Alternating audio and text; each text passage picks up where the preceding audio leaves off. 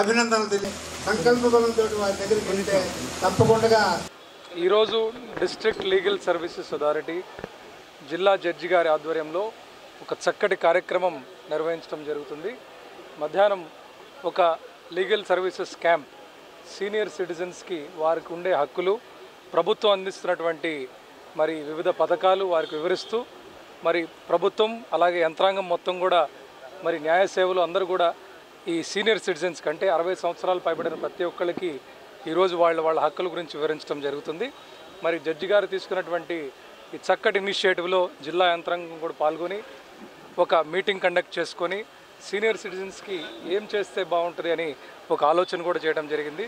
వారి ఆలోచనల మేరకు ఒక హెల్ప్ లైన్ రాష్ట్రంలోనే ఫస్ట్ టైం సీనియర్ సిటిజన్స్కి ఏమన్నా ఇబ్బంది కలిగితే హెల్ప్ లైన్ అనేది మన గుంటూరు జిల్లాలో మున్సిపల్ కార్పొరేషన్ కమిషనర్ గారు ఇనిషియేటివ్ తీసుకొని చక్కగా ఒక మున్సిపల్ స్కూల్లో వాడుకలో లేని రూమ్స్ని రెనోవేట్ చేసి ఒక హెల్ప్ లైన్ ఏర్పాటు చేయడము అలాగే సిటిజన్స్ సీనియర్ సిటిజన్స్కి ఒక చిన్న ఆఫీస్ రూము అలాగే వినూత్నంగా ఫిజియోథెరపీ యూనిట్ అంటే అరవై సంవత్సరాలు పైబడిన వృద్ధులందరికీ కూడా ఏదో రకంగా ఎప్పుడో ఒకప్పుడు ఈ ఫిజియోథెరపీ చేయించుకోవాల్సిన అవసరం ఉంటుంది.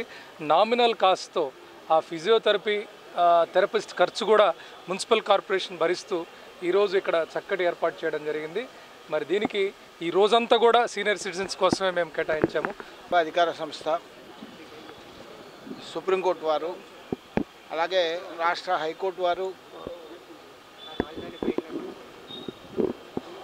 రాష్ట్ర న్యాయ సేవా అధికార సంస్థ వారి సూచనల మేరకు ఈ సీనియర్ సిటిజన్స్ అలాగే అసంఘటిత కార్మికులకు సంబంధించిన అంశాలకు సంబంధించి ఈరోజు లీగల్ అవేర్నెస్ న్యాయ విజ్ఞానాన్ని పంచడము ఆ కార్యక్రమం జరుగుతూ ఉంది. అందులో భాగంగా మేము కోరగానే జిల్లా యంత్రాంగము కలెక్టర్ గారు మాకు అడుగడుగున అన్ని అంశాల్లో మాకు పరిపూర్ణ సహకారం ఇస్తూ ప్రభుత్వ పరమైనటువంటి అన్ని స్కీమ్స్కి సంబంధించిన విషయాల్లో అన్ని సంస్థల యొక్క అన్ని డిపార్ట్మెంట్స్ యొక్క హెడ్స్ను కోఆర్డినేట్ చేసే క్రమంలో సహకరిస్తూ అన్ని డిపార్ట్మెంట్స్ వారికి సంబంధించిన స్టాల్స్ ఏర్పాటు చేసి ఈరోజు మధ్యాహ్నము ప్రజలకు అవగాహన కలగజేస్తూ వారికి ప్రభుత్వపరమైన లబ్ధి ఏమేమి ఉంది అనే విషయాలన్నింటినీ తెలియజేసే క్రమం ఒకటి చట్టపరమైన హక్కులు ఏమున్నాయనేది తెలియజేయడం ఒకటి అలాగే వారికి న్యాయపరంగా ఎలాంటి సహాయ సహకారాలు కావాలన్నా న్యాయ వ్యవస్థ న్యాయవాదులు అందరూ ముందున్నారని చెప్తున్నాము గుంటూరు రూరల్ జిల్లా పరిధిలో పదమూడు మంది హెడ్ కానిస్టేబుల్స్ నుండి అసిస్టెంట్ సబ్ ఇన్స్పెక్టర్లుగా పదోన్నతి పొందిన వారు రూరల్ ఎస్పీ వెంకటప్పల్ నాయుడుకు రిపోర్ట్ చేశారు. శనివారం నాడు జిల్లా ఎస్పీ కార్యాలయంలో ఆయన మాట్లాడుతూ పదోన్నతి పొంది నూతన బాధ్యతల పట్ల అంకిత భావంతో విధులు నిర్వహించాలని చట్టానికి లోబడి విధులు నిర్వర్తించి ప్రజలకు సహోద్యోగులకు ఆదర్శప్రాయంగా నిలవాలని రూరల్ ఎస్పీ ఆశాభావం వ్యక్తం చేశారు ఈ నెల ఇరవై ఎనిమిదవ తేదీన గుంటూరు నగరం నందు ముస్లిం మైనారిటీల భారీ బహిరంగ సభ నిర్వహిస్తున్నట్లు జిల్లా టీడీపీ అధ్యక్షులు శాసనసభ్యులు జీవి ఆంజనేయులు తెలిపారు శనివారం నాడు జిల్లా టీడీపీ కార్యాలయంలో ఆయన మాట్లాడారు బహిరంగ సభకు రాష్ట్ర ముఖ్యమంత్రి నారా చంద్రబాబు నాయుడు ముఖ్య అతిథిగా హాజరు కానున్నట్లు ఆయన తెలిపారు చలో గుంటూరు పేరుతో రాష్ట్ర వ్యాప్తంగా ప్రచారం కల్పిస్తున్నామని తెలిపారు వచ్చే సార్వత్రిక ఎన్నికల్లో ముస్లిం మైనారిటీలందరూ తెలుగుదేశం పార్టీకి ఓటు వేస్తారనడంలో ఎలాంటి సందేహం లేదని సభకు సంబంధించిన పోస్టర్ కరపత్రాలు విడుదల చేశారు. సమావేశంలో జడ్పీ చైర్పర్సన్ శ్రీమతి షేక్ జానిమూన్ పాల్గొన్నారు. పరిపాలనలో మీరేం చేశారు? ముస్లిం మైనార్టీలకి మీరు ఎంత ద్రోహం చేశారు? నిధులు ఎంత తక్కువ కేటాయించారు? చర్చించడానికి మేము సిద్ధంగా ఉన్నాం. ఈరోజు తెలుగుదేశం ప్రభుత్వం గత పదిహేను సంవత్సరాల్లో ఈ పదమూడు జిల్లాలకు మీరు ఎంత ఖర్చు పెట్టారో పదిహేను సంవత్సరాల నుండి ఒకే ఒక్క సంవత్సరంలో పదిహేను సంవత్సరాలకు మీరు ఇచ్చిన అమౌంట్ కంటే ఎక్కువ ఇచ్చారు చంద్రబాబు గారు. పదకొండు వందల ఐదు కోట్లు కేటాయించారు చంద్రబాబు గారు ఈ బడ్జెట్లో గతంలో సగటున డెబ్బై కోట్లు కేటాయించారు మీరు ముస్లిమ్స్కి. సమైక్య రాష్ట్రంలో. ఈరోజు చంద్రబాబు గారు ఒకే ఒక సంవత్సరంలో పదకొండు వందల ఐదు కోట్లు కేటాయించారు. గత నాలుగు సంవత్సరాల్లో మూడు వేల ఐదు వందల కోట్లు కేటాయించి ఈరోజు ముస్లిమ్స్ అభివృద్ధి సంక్షేమాన్ని ఈరోజు పెద్ద ఎత్తున ముందుకు తీసుకెళ్ళారు చంద్రబాబు గారు. బహిరంగ చర్చకి సిద్ధం జగన్మోహన్ రెడ్డితో. ఈరోజు అమలు చేసినటువంటి సంక్షేమ పథకాలు ఏ రాష్ట్రంలో లేని విధంగా ముస్లిం మైనారిటీల సంక్షేమం ఈరోజు ఆంధ్రప్రదేశ్ రాష్ట్రంలో తెలుగుదేశం ప్రభుత్వం అమలు చేసింది. ఇరవై తొమ్మిది రాష్ట్రాలకు ఈరోజు ఆంధ్రప్రదేశ్లో ముస్లిం మైనారిటీల అభివృద్ధి సంక్షేమం ఒక ఆదర్శంగా నిలబెట్టారు ముఖ్యమంత్రి చంద్రబాబు నాయుడు గారు. గతంలో ఈరోజు కేంద్ర ప్రభుత్వ సహకారం లేకుండానే కేంద్ర ప్రభుత్వ సహకారం లేకుండానే పెద్ద ఎత్తున ఈరోజు ముస్లిమ్స్ యొక్క అభివృద్ధి సంక్షేమానికి తెలుగుదేశం ప్రభుత్వం నడుం బిగించింది. పేదరికంలో ఉన్నారు. ఎడ్యుకేషన్ తక్కువ ఉంది. ఆర్థిక ప్రగతి సాధించాలంటే ఎడ్యుకేషన్ చాలా అవసరంగా గుర్తించి ఈరోజు ఎడ్యుకేషన్ పెద్ద ఎత్తున ప్రోత్సహిస్తున్నాం. ముస్లిం రెసిడెన్షియల్ స్కూల్స్ ఇప్పుడు ఏర్పాటు చేస్తున్నాం. ముస్లిం రెసిడెన్షియల్ స్కూల్స్ ఏర్పాటు చేసినటువంటి ఘనత తెలుగుదేశం ప్రభుత్వానికి దక్కింది. ఈరోజు మంచి విద్యను అందించడం కోసం రెసిడెన్షియల్ స్కూల్స్ ఈరోజు తెలుగుదేశం ప్రభుత్వం ఏర్పాటు చేయడం ఈరోజు ముస్లిం సోదరులందరూ హర్షం వ్యక్తం చేసినటువంటి విషయం. కేంద్రం ఈరోజు బడ్జెట్ రాష్ట్రంలో ముస్లిమ్స్ కేటాయించినటువంటి బడ్జెట్ చరిత్రలో ఎప్పుడు లేని విధంగా పదిహేను సంవత్సరాల్లో వాళ్ళు కేటాయించిన దానికంటే ఒక్క సంవత్సరంలోనే పదిహేనేళ్ళలో వాళ్ళు కేటాయించిన దానికంటే ఎక్కువ కేటాయించారు చంద్రబాబు గారు. పదిహేను రెట్లు ఎక్కువ చేశారు ఆనాడు కాంగ్రెస్ ప్రభుత్వం కంటే. వైఎస్ పరిపాలనలో ముస్లిం సోదరులందరినీ ఓటు బ్యాంకులుగా వాడుకున్నారు. స్వార్థ ప్రయోజనాలకు వాడుకున్నారు. ఆ విధంగా ముస్లిమ్స్కి తీరని అన్యాయం చేశారు. బడ్జెట్ ఇవ్వకుండా వాళ్ళ సంక్షేమ పథకాలు అమలు చేయకుండా వైఎస్ పరిపాలన వర్క్స్ బోర్డు ఆస్తులు ఆక్రమించి ఆ విధంగా ముస్లిం సోదరులకి అన్యాయం చేశారని చెప్పి ఈ సందర్భంగా తెలియజేస్తా ఉన్నాను. చంద్రబాబు గారిని విమర్శించేటువంటి నైతిక హక్కు జగన్మోహన్ రెడ్డికి లేదని తెలుసుకోవాల్సిన విషయం ఉంది. ఈరోజు గతంలో వైఎస్ పరిపాలనలో ముస్లిం మైనారిటీలకు కేటాయించినటువంటి నిధులను కూడా పక్కదారి పట్టించింది వాస్తవం కాదా అని చెప్పి జగన్మోహన్ రెడ్డిని అడుగుతా ఉన్నా. ఎంత దారుణం. ముస్లిం మైనారిటీలకు కేటాయి కేటాయించిందే తక్కువ నిధులు. ఆ తక్కువ నిధులు కూడా పక్కదారి పట్టించారు. ఇది చాలా బాధాకరం. ఆ విధంగా ముస్లిం సోదరుల్ని నయవంచన చేసినటువంటి పాలన ఏదైనా ఉందంటే వైఎస్ పరిపాలన. ఈరోజు చంద్రబాబు నాయుడు గారు కొండంత అండగా ఉండి ఈరోజు ముస్లిమ్స్కి సంక్షేమ పథకాలు ఈరోజు అమలు చేస్తున్నారు. ఈరోజు రెసిడెన్షియల్ స్కూల్స్ పెద్ద ఎత్తున ఈరోజు అన్ని జిల్లాల్లో కూడా రెసిడెన్షియల్ స్కూల్స్ ఏర్పాటు చేస్తున్నాం. భవిష్యత్తులో ప్రతి నియోజకవర్గానికి ఒక రెసిడెన్షియల్ స్కూల్ తీసుకురావాలనే ఒక ఆశయంతో చంద్రబాబు గారు ముందుకెళ్తున్నారు. రానున్న కాలంలో ఇంకా పెద్ద ఎత్తున ముస్లిం మైనారిటీల కోసం ఇంకా పెద్ద ఎత్తున సంక్షేమ పథకాలు అమలు చేస్తాం. అభివృద్ధి పనులు అందిస్తామని ఈ సందర్భంగా తెలియజేస్తూ ఈరోజు సమావేశమైనటువంటి ముస్లిం మైనార్టీ నాయకులందరికీ హృదయపూర్వక అభినందనలు తెలియజేస్తున్నా. ఈ నెల ఇరవై ఎనిమిదో తేదీ మన గుంటూరు జిల్లాలో మైనార్టీ సోదరుల ఆత్మీయ సదస్సు ముస్లి ముస్లింల బహిరంగ సభ నారా హమారా తెలుగుదేశం హమారా అనే ఒక నినాదంతో మా మైనార్టీ సోదరులు మేమందరం కూడా ఈ బహిరంగ సభలో మరి ముఖ్యంగా గౌరవ ముఖ్యమంత్రి వారు నారా చంద్రబాబు నాయుడు గారి నాయకత్వంలో గౌరవనీయులు మన జిల్లా పార్టీ అధ్యక్షులు ఆంజనేయులు గారి ఈ సపోర్టుతో మన గుంటూరు జిల్లాలో మైనార్టీ సోదరులందరం మేమంతా గౌరవనీయులు హిదాయత్ గారు కావచ్చు లాల్ వజీర్ గారు అమీర్ గారు ఇంకా పెద్దలు హజ్ కమిటీ చైర్ డైరెక్టర్స్ మిగతా పెద్దలందరి ఆధ్వర్యంలో మేము మనం ఇరవై ఎనిమిదో తేదీన బహిరంగ భారీ బహిరంగ సభని ఏర్పాటు చేయబోతూ ఉన్నారు.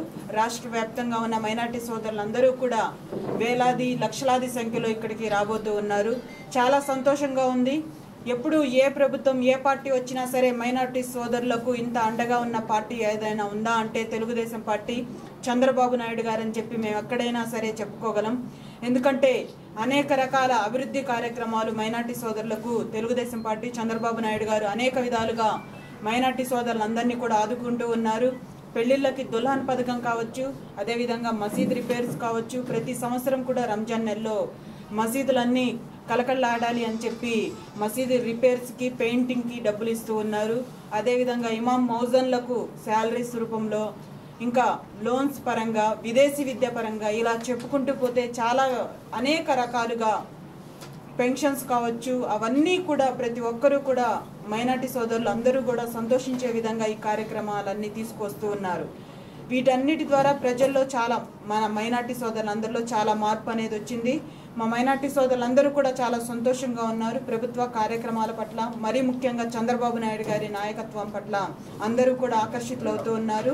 ఈ సమయంలో ఈ మైనార్టీ బహిరంగ సభ అనేది మైనార్టీల ఆత్మీయ సదస్సు అనేది మా మైనార్టీ సోదరులందరికీ కూడా తెలుగుదేశం పార్టీ చంద్రబాబు నాయుడు గారికి కలిసి వారితో మాట్లాడే అవకాశం మైనార్టీ సోదరులకు అందరికీ వస్తున్నందుకు వారందరూ కూడా చాలా చాలా సంతోషిస్తూ ఉన్నారు.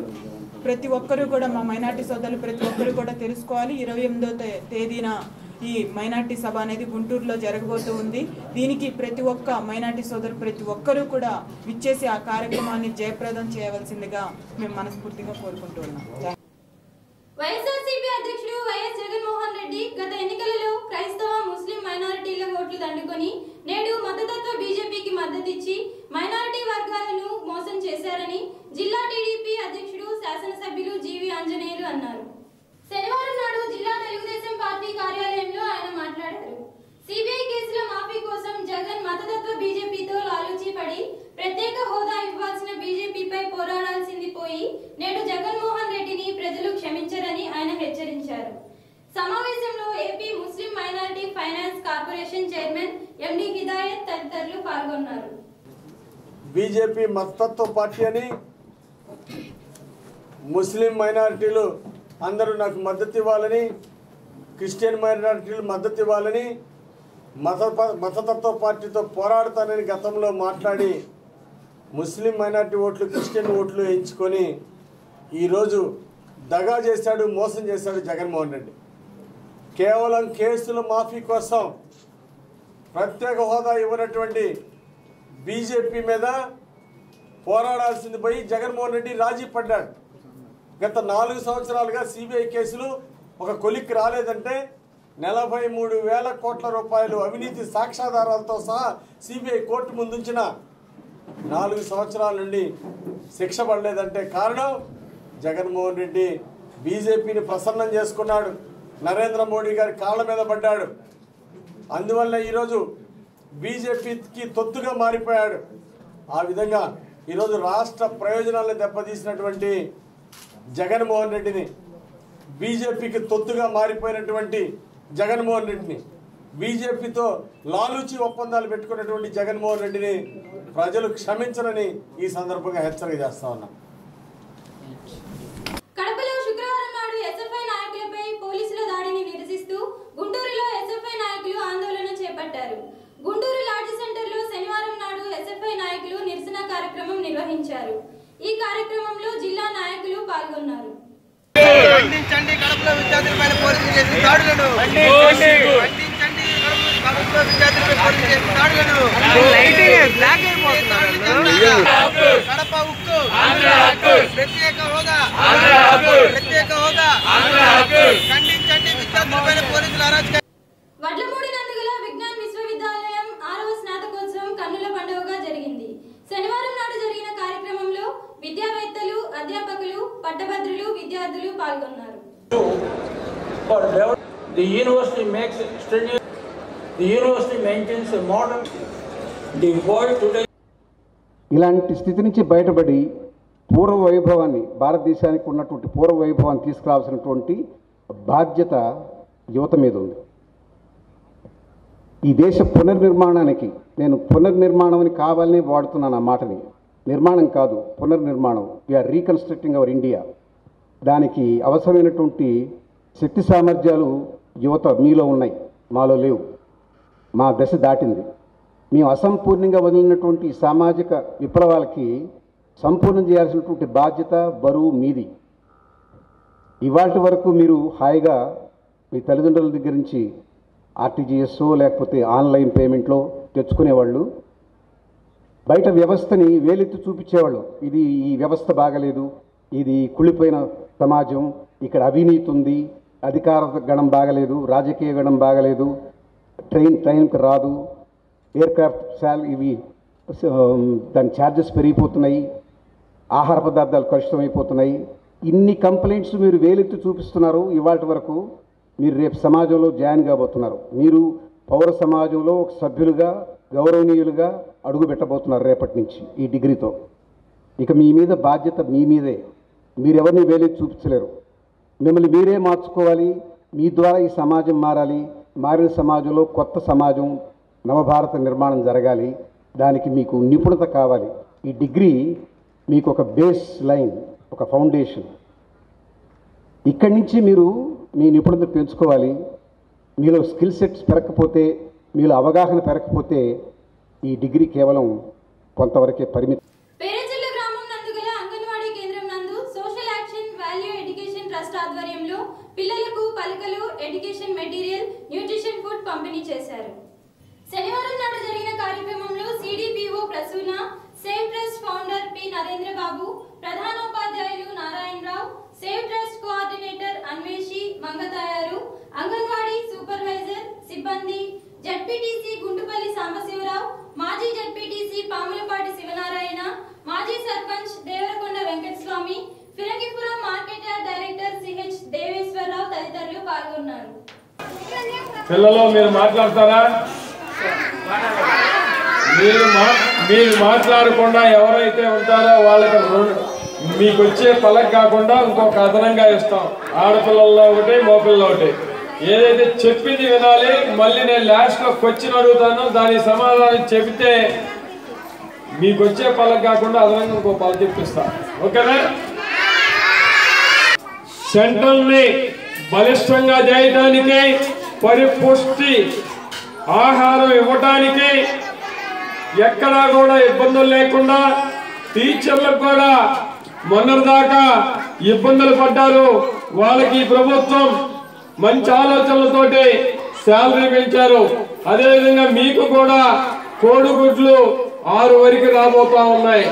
బట్టలు మంచి ఆలోచనలతోటి మీకు పుస్తకాలు ఇస్తా ఉన్నారు. ఇట్లా సేవ్ ట్రస్ట్ వాళ్ళు ముఖ్యంగా ఇలాంటి ఉదార స్వభావంతో ఎప్పుడు స్థాపించారో కానీ వాళ్ళ ఆలోచనలన్నీ కూడా విద్యార్థుల మీద మనం చూస్తా ఉన్నాం.